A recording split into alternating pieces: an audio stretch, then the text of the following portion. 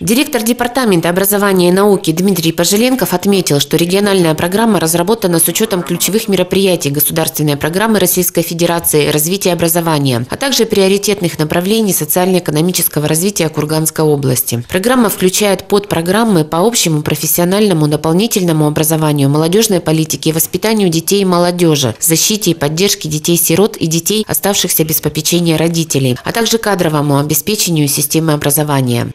Особое место в структуре этой программы э, отводится под программе по созданию новых мест э, в школах. Ее реализация позволит к 2021 году организовать процесс обучения школьников первых и четвертых, а также десятых, одиннадцатых классов в одну смену.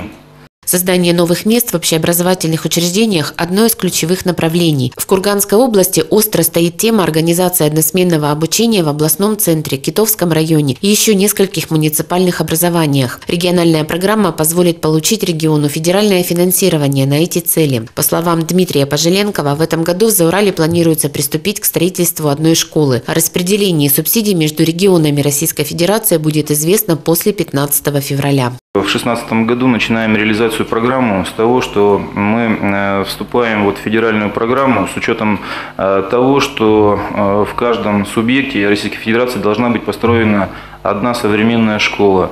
Поэтому на последнем совещании Ольга Юрьевна Голодец объявила 15 февраля тем днем, когда правительство Российской Федерации объявит те субсидии, которые будут доведены до каждого субъекта но только тот субъект получит субсидию, который примет как раз вот эту государственную программу.